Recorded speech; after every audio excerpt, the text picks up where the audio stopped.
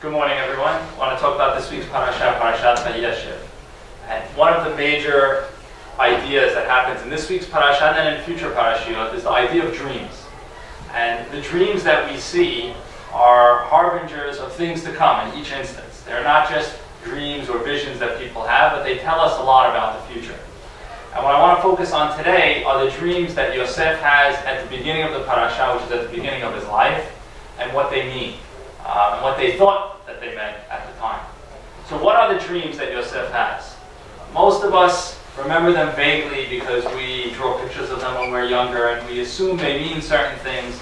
But let's look carefully at the words the Torah tells us about the dreams that Yosef had. So it says as follows. The first dream, he says, is anachnu me'alamim alumim b'toch hasadeh V'hine kama alumati nitzava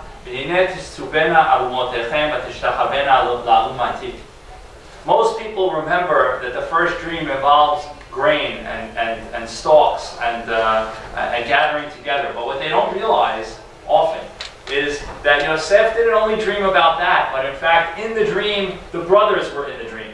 All of his brothers were there. We're not sure which of his brothers, but it seems like all of them. All of his brothers are there, and the brothers are gathering the grain in the field. And as they're gathering the grain in the field, so Yosef seeing the brothers in the dream, now what happens? One grain, one, one uh, gathering of grain stands up, and the others bow down to the grain. Uh, interesting, the brothers don't bow down, and it's Yosef's stalk that's there. Um, one of the interesting things about this dream is that it's not something that Yosef should have been dreaming about because the brothers were not farmers, the brothers were shepherds. So why would the brothers be dealing with stalks of wheat? What, what's that all about? And then we have a second dream. And the second dream people tend to, to, to, to miss as well. But you know, what's the second dream? It says, the sun and the moon, mishtachavim li. There's sun, moon, and 11 stars bowing down to him. Who's in this dream? Now, how many people are in this dream? Only one. Right? In the previous dream, there were at least 10 or 11 or maybe even 12. We're not really sure because we don't, we don't know if Binyamin was included in the first dream. It doesn't give us a number. It doesn't tell us which of the brothers were there. But in, in, in this dream, we have something interesting. We have the sun, the moon, and 11 stars, and they're bowing not to another star, but actually to Yosef. And although these dreams definitely have some commonality, there are definitely some differences. Um, so let's talk about them. Let's see what's happening with this dream. So first of all, what does everyone think the dream means? Everyone, and when I say everyone, I mean both Yosef and his brothers and also his father, all think that the dream means that one day someone is going to bow down to Yosef. One day Yosef is going to rule over the rest of his brothers. And that is what they think the dream means, and that's why they don't get along so well, and maybe that's why Yosef is a little uppity. Um, but I don't know if that's what the dream is really saying, for a few reasons. Number one, uh, Yosef is not bowed down to in the first dream. And number two, one of the things we know about dreams, both from these dreams and the dreams later with the butler and the baker, and also Paro's dreams when he's standing in the Nile, is that what's in the dream is symbolic of something else. It's not telling you what's going to happen, it's going to symbolize something else that's going to happen.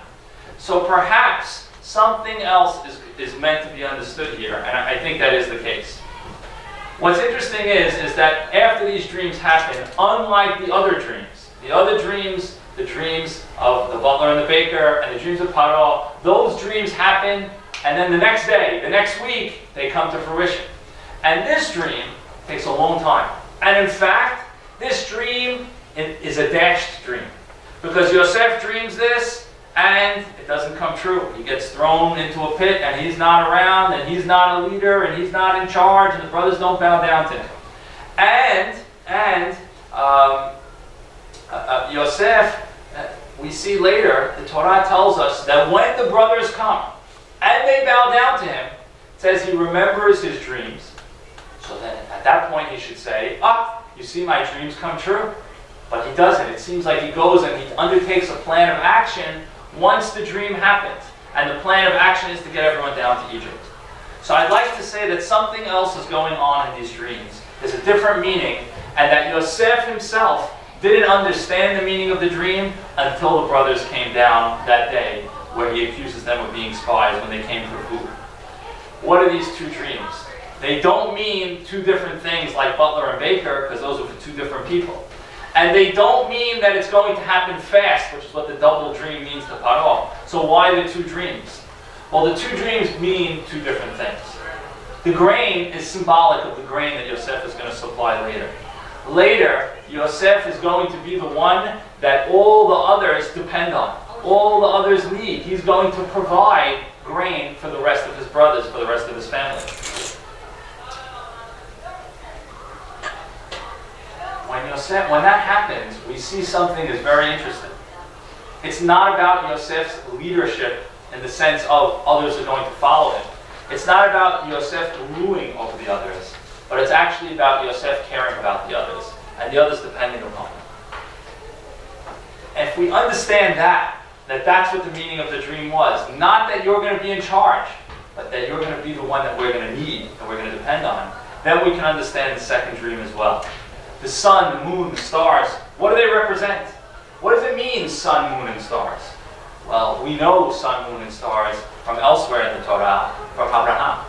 When Hashem wants to talk about a nation, a nation that's going to grow, a nation that's going to be his people, how does he describe them? He tells Abraham, Go look out at the stars, see if you can count them. And so here, Yosef is having a different message. Because it's not just the 11 stars here. It's not just the brothers that are going to depend upon him. It's also the sun and the moon. And we know who the sun and the moon are. The sun and the moon are his father and his mother, who is gone. But what's happening here is not only will they depend upon Yosef for the physical sustenance that they're going to need to get through the seven bad years, but they're going to need Yosef to also sustain the nation. This, this, this, the stars, the dream that Abraham Avinu had um, of having a nation that's going to be God's people. And that too is going to be dependent upon Yosef.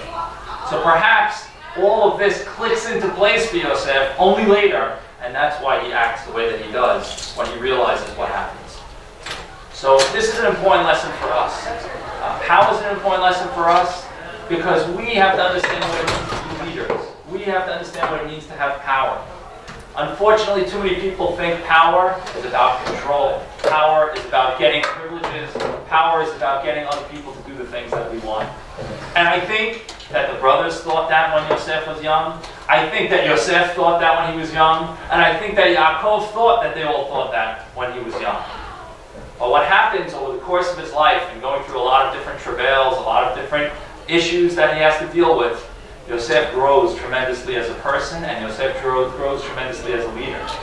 And Yosef is able to learn the message of his dreams after going through all of this and understand that being the leader doesn't mean I get the privilege, doesn't mean I get the access, doesn't mean I get the control. It means I get the people's problems, I get the people's needs, I get the people's dependence, and I have to take care of them. So for us, we have to understand we are going to be powerful in lots of ways in our lives. We're highly educated, God willing, we'll be successful, we'll be the heads of families, maybe we'll be the heads of communities, maybe more. And we have to understand the lesson that Yosef learned, and learned very well because take care of so, so many. That power is about taking care of others.